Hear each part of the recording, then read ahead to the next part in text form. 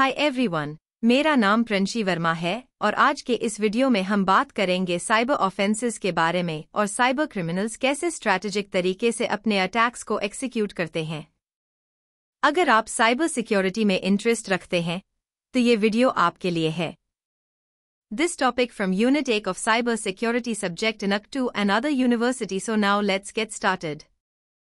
Cyber offenses किसी random event की तरह नहीं होते।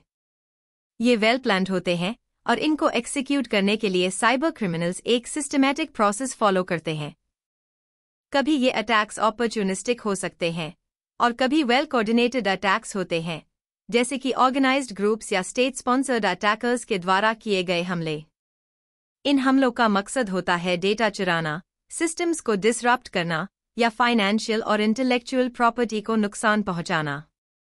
चलिए अब बात करते हैं कि ये हमले किस तरीके से प्लान किए जाते हैं।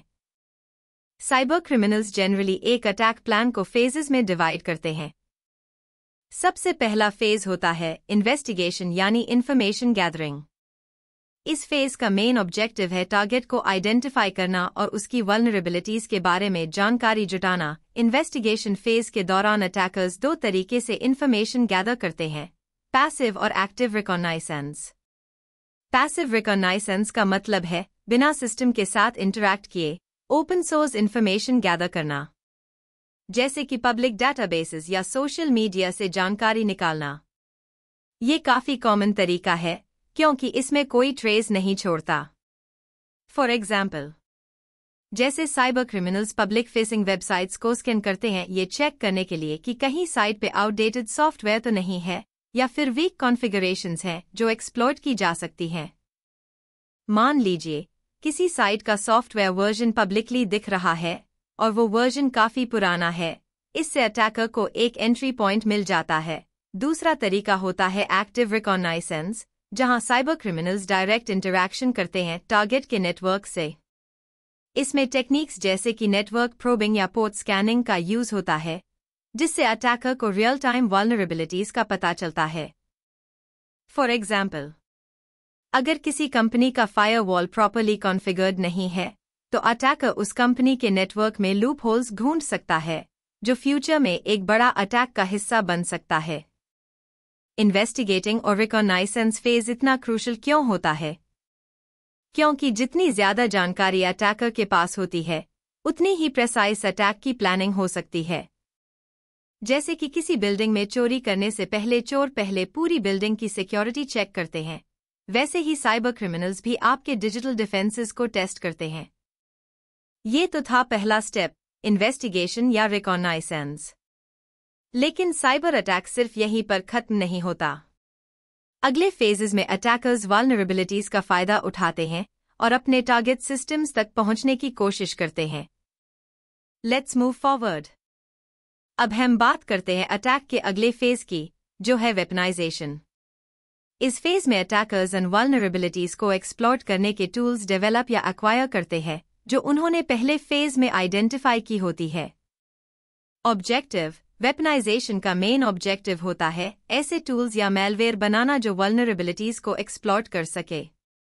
टेक्निक्स इसमें साइबर क्रिमिनल्स मेलवेयर क्रिएट करते हैं फिशिंग ईमेल्स बनते हैं. या फिर और भी सोफिस्टिकेटेड टूल्स का यूज़ करते हैं, जो स्पेसिफिक वल्नरेबिलिटीज को टारगेट कर सके। एग्ज़ाम्पल एक फ़ेमस एग्ज़ाम्पल जो आपने शायद सुना हो वॉन्नाक्राई रैंसमवेयर अटैक का है। इस अटैक में एक मेलवेयर पेलोड यूज़ किया गया था जो विंडोज़ ऑपरेटिंग सिस्टम्स में एक नॉन वॉलनरेबिलिटी एटर्नल ब्लू को एक्सप्लोर करता था। इस वॉलनरेबिलिटी का फ़ायदा उठाकर हैकर्स ने वर्ल्ड वाइड काफ़ी बड़ा डैमेज किया। अगला फ़ेज़ है डिलीवरी जिसमें अटैकर अपने मलिशियस पेलोड को टारगेट तक पहुँचता है। ऑब्जेक्टिव डिलीवरी फ़ेज़ का मेन ऑब्जेक्टिव होता है कि कैसे मेलवेयर या फिशिंग ईमेल टारगेट के सिस्टम में पहुँचाया जाए। टेक्निक्स अटैकर्स इसमें कई तरीके इस्तेमाल करते हैं, जैसे phishing emails malicious attachments compromised websites या physical mediums like USB drives example एक क्लासिक एग्ज़ाम्पल है फिशिंग ईमेल जो एक इनवॉइस या पीडीएफ फ़ाइल के डिस्गाइज में आता है। विक्टिम जैब इस फ़ाइल को ओपन करता है तो मेलवेयर उसके सिस्टम में इंस्टॉल हो जाता है विदाउट देम रियलाइजिंग ये टेक्निक काफ़ी कॉमन है, और इसमें साइबर क्रिमिनल्स यूज़र के ट्रस्ट का मिसयूज करते हैं। वेपनाइजेशन और डिलीवरी फेजेस इसलिए क्रिटिकल है, क्योंकि ये वो स्टेजेस है जिसमें अटैकर अपने थियोरेटिकल प्लान को एक रियल वर्ल्ड अटैक में कन्वर्ट करता है। मलिशियस पेलोड या फिशिंग कैंपेन्स का सक्सेस लार्जली डिपेंड करता है अटैकर की स्किल और टारगेट को कितना इफेक्टिवली ट्रिक किया जा सकता है। Let's continue with the next two phases of the cyber attack exploitation and installation अब हम अटैक के नेक्स्ट फ़ेज़ की बात करते हैं, जो है एक्सप्लॉटेशन इस फ़ेज़ में अटैकर अपने आइडेंटिफाइड वालनरेबिलिटीज का यूज़ करता है अनऑथराइज्ड एक्सेस पाने के लिए। ऑब्जेक्टिव एक्सप्लॉटेशन फ़ेज़ का ऑब्जेक्टिव होता है वॉलनरेबिलिटी का फ़ायदा उठाकर टारगेट सिस्टम या नेटवर्क में एंट्री लेना। टेक्निक्स इसमें सॉफ्टवेयर बग्स वीक क्रीडेंशियल्स या सिस्टम मिसकॉन्फिगरेशंस को एक्सप्लॉट करना शामिल होता है। फॉर एग्ज़ाम्पल अगर कोई सिस्टम अनपैच्ड है यानी कि उसके सिक्योरिटी अपडेट्स नहीं आए हैं। टू अटैकर्स अस सिस्टम को रिमोटली कंट्रोल करने के लिए अस वॉलनरेबिलिटी का यूज़ कर सकते हैं। जैसे कि अगर कोई बाग प्रेजेंट है, जो अटैकर को एडमिनिस्ट्रेटिव प्रिविलेजेस दी सकता है टू वो सिस्टम पूरी तरह कंट्रोल में आ जाता है।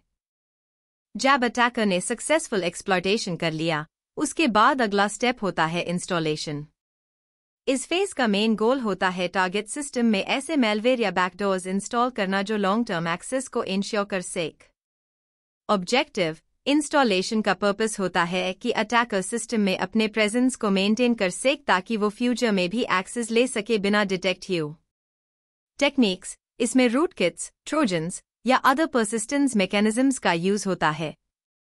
एग्ज़ाम्पल एक कॉमन टेक्निक है की लॉगर्स इंस्टॉल करना जो यूज़र के लॉगिन क्रेडेंशियल्स को साइलेंटली कैप्चर करता है।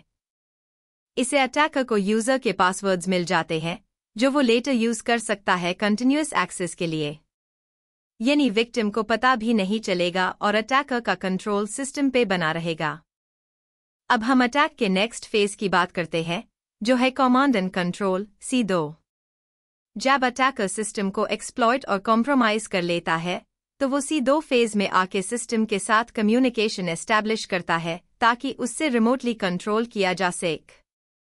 ऑब्जेक्टिव कमांड एंड कंट्रोल का मेन ऑब्जेक्टिव होता है कि कॉम्प्रोमाइज्ड सिस्टम के साथ एक कम्युनिकेशन चैनल सेटअप किया जाए, ताकि अटैकर अस सिस्टम को इंस्ट्रक्शंस दी सेक। टेक्निक्स इस फ़ेज़ में अटैकर्स सी दो सर्वर्स का यूज़ करते हैं, जो इन्फेक्टेड डिवाइसेस को रिमोट कंट्रोल से ऑपरेट करने के लिए इंस्ट्रक्शंस पास करते हैं। फॉर एग्ज़ाम्पल आपने बॉटनेट्स का नाम शायद सुना होगा। ये बॉटनेट कंट्रोलर्स हंड्रेड्स या थाउजेंड्स ऑफ़ इन्फेक्टेड मशीन्स को एक साथ कंट्रोल करते हैं और इन मशीन्स को distributed denial of service DDoS attacks जैसे लार्ज स्केल मलिशियस एक्टिविटीज़ के लिए यूज़ करते हैं। कमांड एंड कंट्रोल के बाद फाइनल फ़ेज़ आता है, जिसे हम एक्शंस ऑन ऑब्जेक्टिव्स कहते हैं। इस स्टेज पर अटैकर अपने मलिशियस प्लान्स को एक्सिक्यूट करता है। ऑब्जेक्टिव यहाँ अटैकर का अल्टीमेट गोल होता है अपने इंटेंडेड मलिशियस एक्टिविटीज़ को परफॉर्म करना, चाहे वो डेटा चोरी हो सिस्टम डिस्ट्रक्शन या फाइनेंशियल फ्रॉड टेक्निक्स टेक्निक्स इस फ़ेज़ में इंक्लूड होती है डेटा एक्सफिल्ट्रेशन यानी सेंसिटिव इंफॉर्मेशन को चोरी करना रैंसमवेयर अटैक्स इंपॉर्टेंट फाइल्स को एनक्रिप्ट कर देना, या फिर एस्पियनेज जासूसी, करना. फॉर एग्ज़ाम्पल एक एग्ज़ाम्पल हो सकता है, एक अटैकर जो फाइनेंशियल डाटाबेस से कॉन्फिडेंशियल डेटा चुरा लेता है, या फिर रैंसमवेयर यूज़ करके क्रिटिकल फाइल्स को एनक्रिप्ट करके उनका रैंसम माँगता है। ये काफ़ी डैमेजिंग अटैक्स होते हैं, जिनका इम्पैक्ट काफ़ी बड़ा हो सकता है। तो दोस्तों, आज हमने साइबर अटैक की पूरी चेन के फेजेस को कवर किया from investigation to actions on objectives cyber criminals in steps का यूज़ करके सोफिस्टिकेटेड और स्ट्रैटेजिक अटैक्स प्लान करते हैं। इन फेजेस को समझना ज़रूरी है, ताकि हम अपने आप को और अपने डेटा को इन अटैक्स से प्रोटेक्ट कर सके। ये वीडियो अगर आपको हेल्पफुल लगी हो तो प्लीज़ लाइक शेयर और सब्सक्राइब ज़रूर करें। मेरा चैनल प्रंशी वर्मा पा अगर आपको नोट्स चाहिए तो नीच कमेंट सेक्शन में ज़रूर मेंशन करें। और मैं आपको यूनिवर्सिटी एग्ज़ाम के लिए ऑल द बेस्ट कहना चाहती हूँ। Stay safe stay secure